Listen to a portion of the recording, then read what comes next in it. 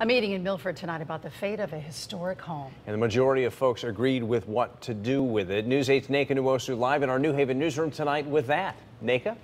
Darren and the one member and one alternate voted against. The majority agree it is time to tear down that 223 year old home. For the first time in 35 years, the Milford Historical Commission voted to demolish a landmark building. And uh, it's done with a lot of sadness.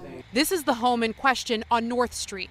News 8 first visited the historic site in May. Built in 1790, it's a piece of Milford history. That's why Bill Farrell bought it. Soon he learned the home is unsafe. So he brought a structural engineer to the Historical Commission asking to demolish the building and rebuild.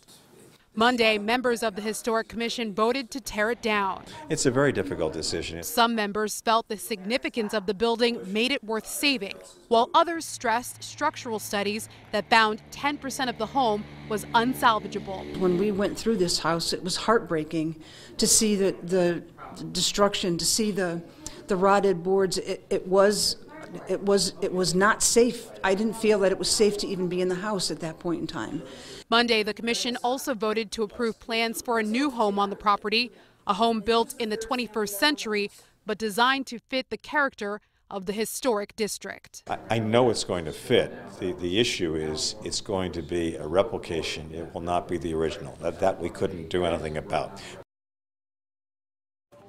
Well, the owner did not want to comment tonight, but his next step will be to apply for the necessary permits to demolish and rebuild in the historic neighborhood. Live in the newsroom, Naka Nwosu, News 8.